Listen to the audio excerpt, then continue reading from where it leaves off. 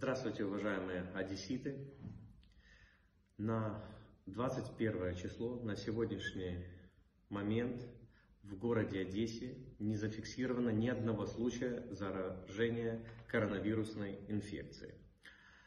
Сейчас в инфекционной больнице э, находится 13 пациентов с э, подозрением на коронавирус. Сегодня за день поступило еще два всего лишь дополнительно людей с подозрением. При этом тяжелых пациентов в тяжелом состоянии нет. За все время прохождения тестов ни один тест не подтвердился.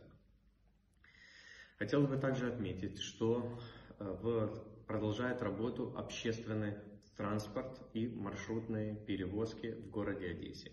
Но с понедельника мы планируем отмену всех льгот для всех категорий граждан. Данная отмена льгот пройдет исключительно на период деятельности карантина. Поэтому мы призываем всех людей, особенно пожилого дома, э, возраста, оставаться дома, не использовать общественный транспорт.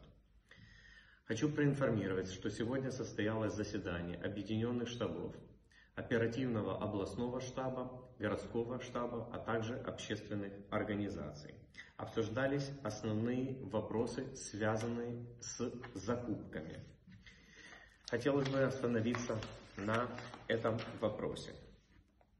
Оперативными штабами определены следующие приоритеты по обеспечению всем необходимых, всего необходимого для города и Одесской области.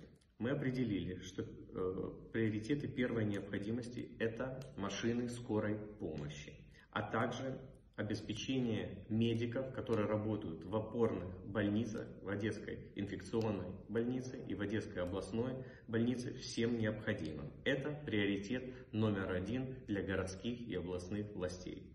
Второй приоритет, приоритет по обеспечению всем необходимым, а именно средствами защиты, это полиция, военные, сотрудники органов ЖКХ и транспорта.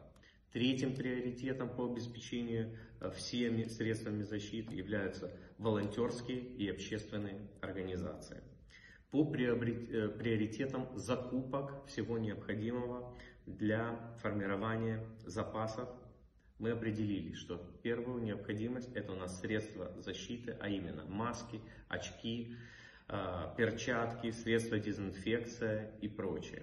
Второй приоритет – это необходимое все оборудование, которое необходимо приобрести и доставить в Одессу для обеспечения всех больниц в пиковый период нагрузки, а также приобретение экспресс-лабораторий и тестов для наших медучреждений.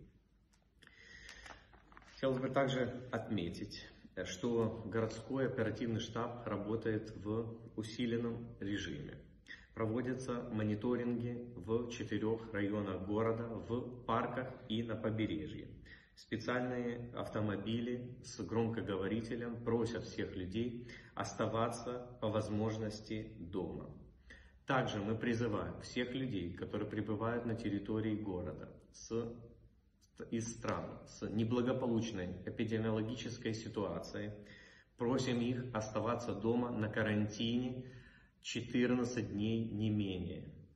В случае ухудшения здоровья информировать по телефону колл-центра либо семейного врача. Не контактировать с другими людьми. Я хотел бы э, обратиться еще раз к пожилым людям. Пожалуйста, оставайтесь дома. Город и общественные организации из Департамента соцзащиты обеспечат вас всем необходимым. Ваше здоровье для нас это приоритет, поэтому оставайтесь дома и минимизируйте контакты с другими людьми. Я хотел бы пожелать всем одесситам крепкого здоровья. Еще раз обращаюсь с просьбой необходимости уменьшения контактов с другими людьми. Будьте здоровы, оперативный штаб продолжает работать.